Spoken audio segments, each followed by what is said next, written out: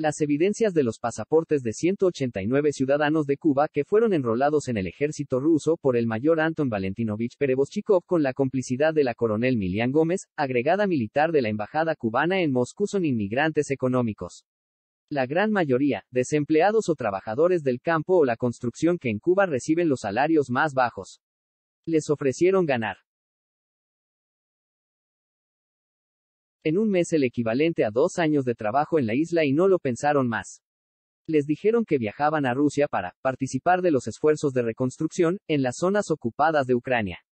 Terminaron firmando un contrato con el ejército ruso por un año con la obligación de combatir en el frente. Los usan como carne de cañón, asegura el gobierno ucraniano, el grupo de hackers conocidos como Resistencia Cibernética, que opera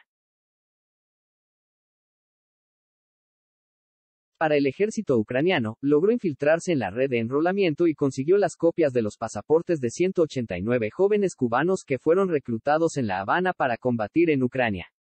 Se trata del grupo más numeroso que viajó a Moscú entre julio y agosto, pero no son los únicos. Muchos más hicieron el mismo itinerario marcado por la red de reclutadores desde la invasión rusa de febrero de 2022. The Intercept, el medio digital que sirvió de plataforma para las filtraciones del analista de seguridad estadounidense Edward Snowden, tuvo la primicia esta semana y ahora Infobae recibió de los mismos hackers una copia de las carpetas con los pasaportes, de acuerdo a los testimonios de algunos de los jóvenes reclutados que se difundieron en las redes sociales, fueron conectados en La Habana por una mujer cubana y un traductor ruso que les hicieron firmar un primer documento en ruso que los comprometía a combatir en Ucrania. Esa persona los conectó con empleados del gobierno cubano que les entregaron en pocos días su pasaporte, algo que no es habitual para cualquier cubano medio y es un trámite que puede tomar meses.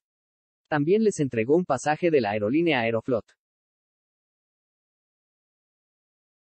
que tiene un vuelo que hace una ruta alternativa entre el aeropuerto Juan Guadalberto Gómez de Varadero, la ciudad turística exclusiva para extranjeros, y el aeropuerto Ceremetievo de Moscú.